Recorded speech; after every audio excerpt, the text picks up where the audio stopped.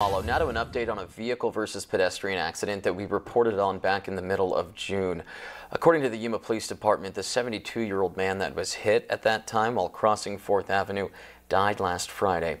Police say nor speed or alcohol was a factor when a 1990 Oldsmobile Cutlass driven by a 24-year-old woman hit the man. 72-year-old Richard Gray.